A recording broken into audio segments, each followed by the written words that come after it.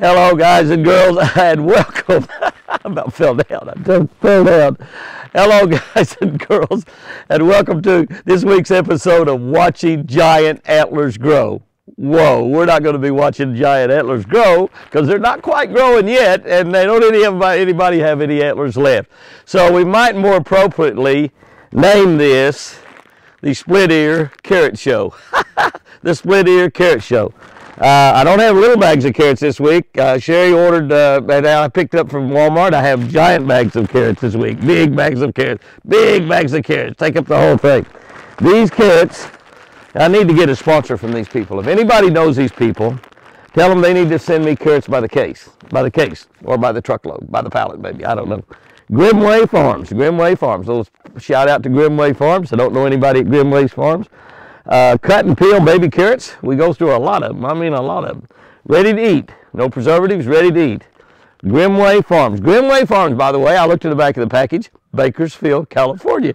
I have I've been to Bob's Bait Bucket, a tackle store out in Bakersfield, California. I don't know that that tackle store is still there. I was probably there 30 years ago. Shipped by Grimmway Farms, Bakersfield, California. So if anybody knows anybody at Grimmway Farms, tell them to send Jimmy a bunch of carrots for his deer. hey, let's get up there to pen and, uh, and, and, and feed Split Ear and her buddies this big bag of carrots and just see just see how many carrots she can eat anyway. And I'll tell you what, stay to the end of the video because at the end of the video, at the end of the video, we're going to get 12 points antlers. You know, I found them out there in the snow and we haven't looked at them.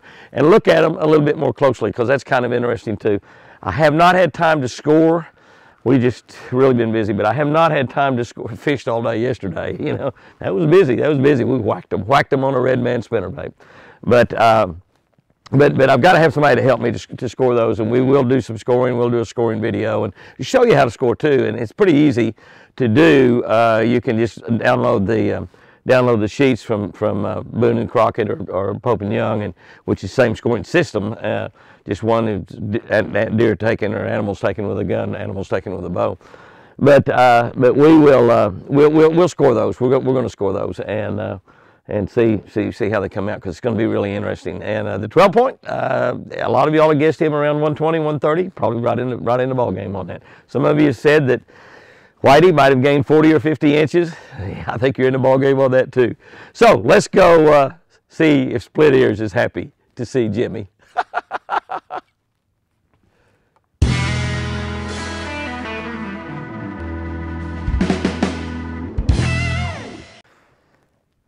Okay, here we are at the pen, and there is Split Ears. Come right to the gate, right to the gate. She's looking awfully pretty. She's looking really, really pretty. And green tag over there, that's a different green tag. That green tag is starting to shed her winter coat already. If you'll notice, back on her hindquarters is a little bit different color. That's because she's uh, already trying to lose her, her winter coat and it looks like up around uh, Split Ear's neck that she has lost quite a bit. She's beginning to trim up. They'll become real slick looking deals. They won't have near as much fur on them. Some other deer wandering around, some deer laying down out there in the pen. Uh, I'm going to go in there and uh, and uh, try to set up my tripod and, and feed split ears. That's the main deal to come into the pen this week. Everything looks really, really pretty. Everything looks really, really good.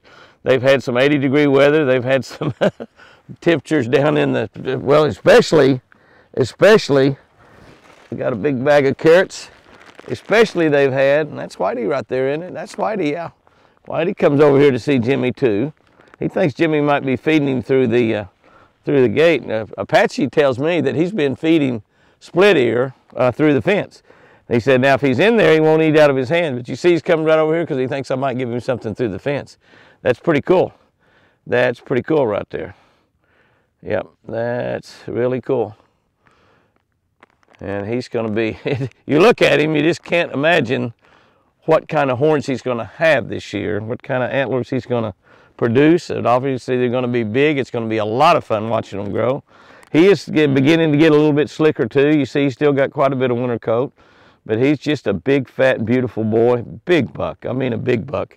He's up here close. I, am going to shut the, the, the uh, iPhone off here and get in the pen, set it up there, and take a little look at them where uh, where we can feed this uh, bag of carrots. Uh, I've got green tag is up here also.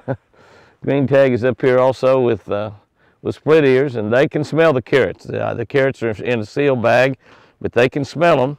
And so let's get off in there and set this thing up. We'll go back over there in the back pen where everybody can see. And we'll get over in the back pen and set this thing up and see if we can't get rid of a bag of these. Uh, what was the name of that farm? What's the name of that farm? Let me look it up here. Grimmway. Grimmway Farms. Grimmway Farms. Giving Grimmway Farms. Anybody in Bakersfield, California work at that place? Tell them to send Jimmy carrots. or vouchers for carrots. Vouchers for carrots. That would be good.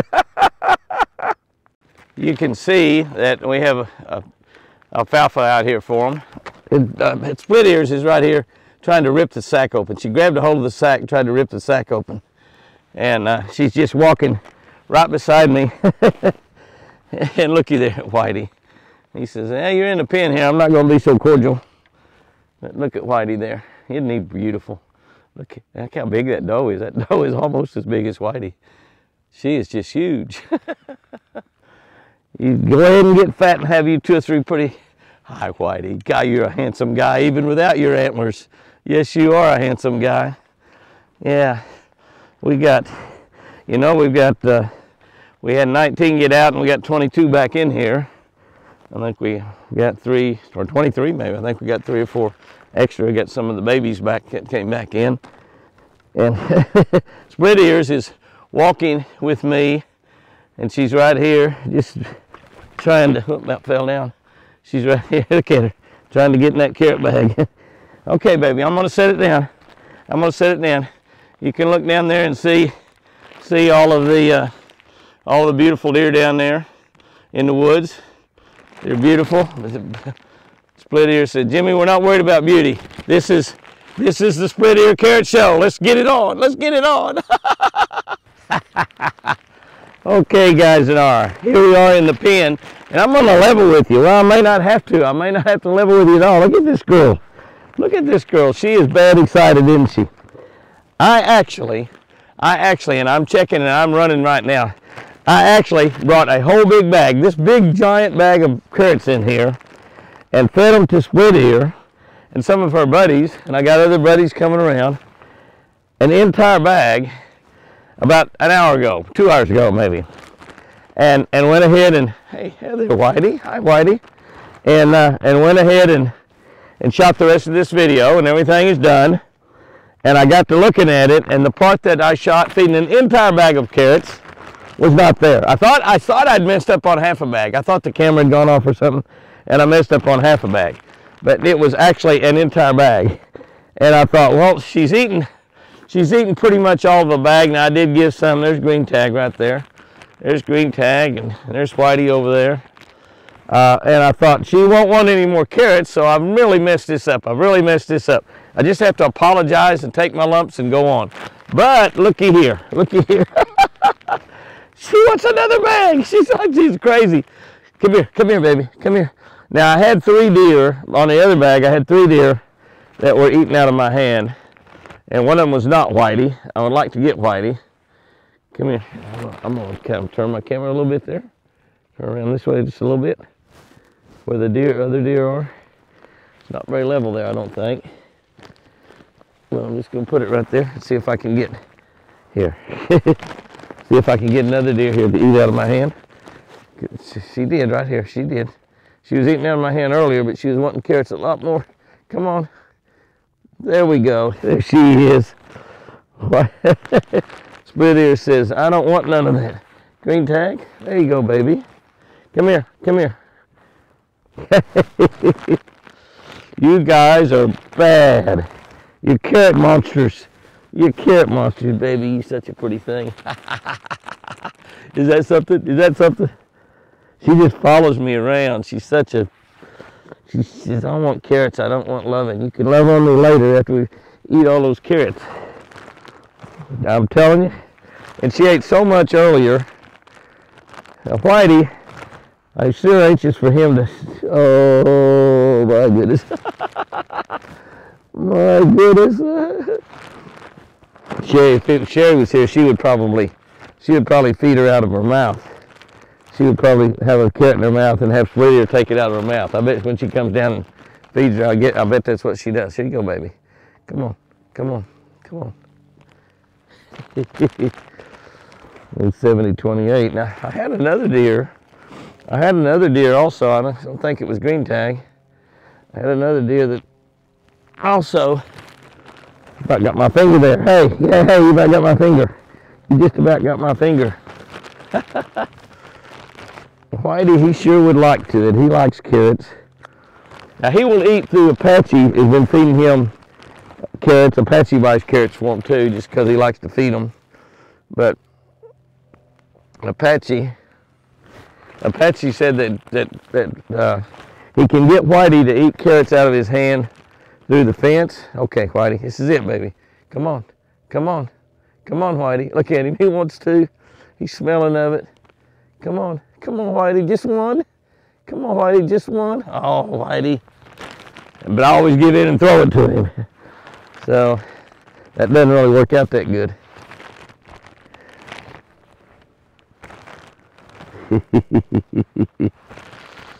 there you go, Whitey. There you go.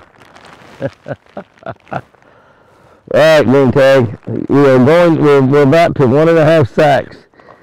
You're gonna you're gonna have the best eyes in the woods. Yes, you will. All right. All right, the video ran this time. I looked at it up there. It's been running about four minutes, so it ran. We're going to uh, we're going to go up there right now and take a look at 12 points antlers. yeah, Jibby, you got a lot of carrots today, didn't you, baby? God, isn't she pretty? She's my baby doll.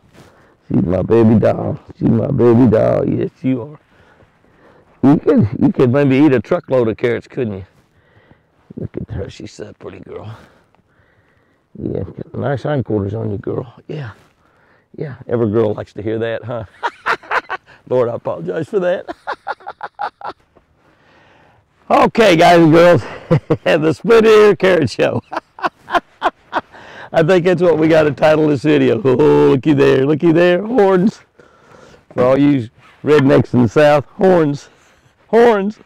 For everybody else, antlers, antlers. That looks great, that doesn't it? I mean, then that look that looks massive. I mean, if you hold that up like that, like that on his head, hold it up like that, way out like somebody people hold up a big bass. I'm not mentioning any names, but BD and RM and HP, y'all figure out who BD is from Memphis, Tennessee, RM is from Florida, and HP from North Carolina, South Carolina, South Carolina now. Woo, that's the way they hold their bass out. But anyway, let's take a little look at these. When you look at these things right here, you just immediately think that this right side is a little bit stronger than the left side. But it's amazing, they're both about the same. This is a mainframe 10. We call him 12 point because that's what he is. Got the little kicker out here, little kicker out here. That makes him a 12 point. But when we start looking at these, my initial deal as I looked at them and I picked them up was that this right side of his, his antlers is stronger than the left side. And first, first of all, you started looking at brow tine. You hold them down close together, you can see the brow tines right here, these brow tines right here. The brow tines, this is about an inch longer. So you think, well, this side's a little bit stronger. And you look up there and you go on up and you see up here in the twos and the threes up here that this is a little bit longer than this one over here. It's a little bit longer. And this one is a nice, this is a really good one out here. You look at that and comparing to those two, you see as you hold those two up there together, here and here. You hold those two together, you see that that's a lot stronger. So my initial thought was this side is a lot stronger side. A mainframe 10 with these little stickers out there. So this would be scored as a typical, a typical 10 point. And um, but so you look at that and you think, well, this side is stronger than this side. But then when you get out here to the fours and fives, you get out here to the ends, this is quite a bit longer. You look at this right here, you can see that this is quite a bit longer, and so these both of these are quite a bit longer than these two on this side. So that kind of equalizes out. So actually, both sides should score about the same. They should score really, really close to the same. We'll see because we're going to score them. I just got to get somebody down here to help me. Every time somebody's here, we're going fishing, but uh, but I got some buddies coming down uh, from Kansas, and and uh, Larry's coming down from Tulsa. And then my buddy Jeff Shaw from uh, retired from Rollright, retired. I can't hardly believe he's retired, 50 some odd years old, retired. You know, my buddy Roland Martin be 82 this month. That's right, 82. I think on the 13th of March, 82 years old.